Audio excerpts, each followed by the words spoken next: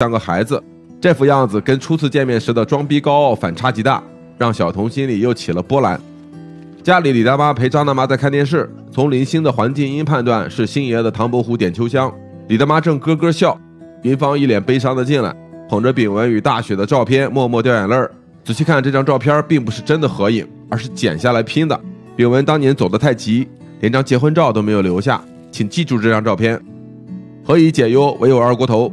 大明能想到的办法就是把自己灌醉。结婚时，他曾答应云芳戒酒，但今天是个例外，酒从嘴里进，眼里出。